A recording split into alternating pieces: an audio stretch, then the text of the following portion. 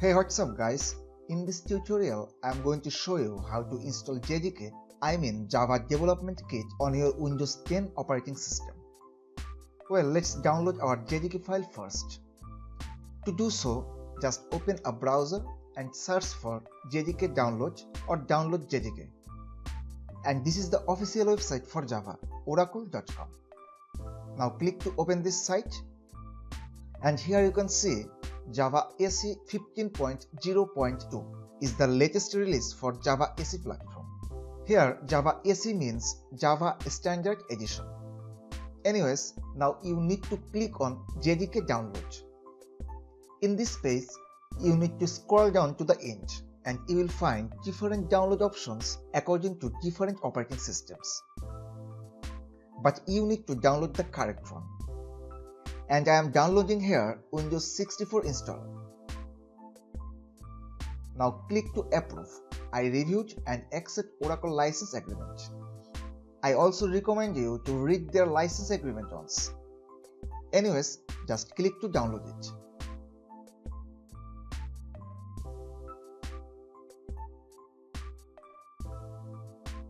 Well, our JDK file is already downloaded. Now click to open it. I mean run this exe file.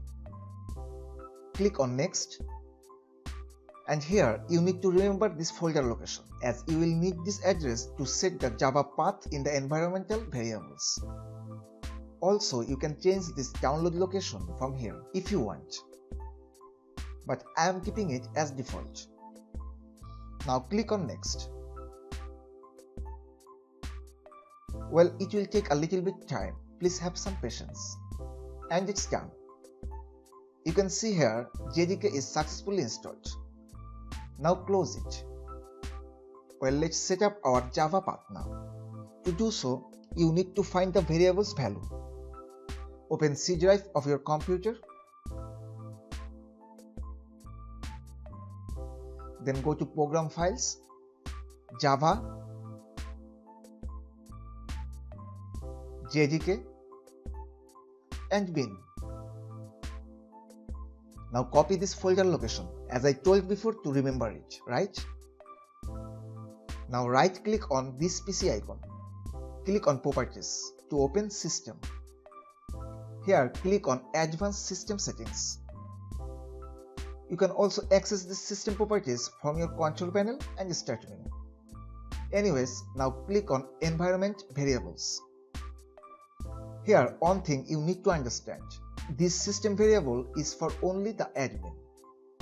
And this system variables is for all users. And we will set our variables here.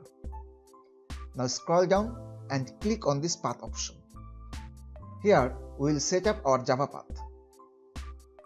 Now click on new here and paste the folder location that we have copied earlier. Now click OK and we are done. Well, let's check it out if our Java is working properly now. Click on this start menu icon. Write CMD. Open the command prompt as administrator. Let's check the Java version first. Write Java space hyphen version and click enter. And you can see here Java is recognized and it's showing all the information. Now write javac like before and press enter. And you can see javac command is also working. So thank you so much guys for being with me and don't forget to subscribe my channel and just stay tuned.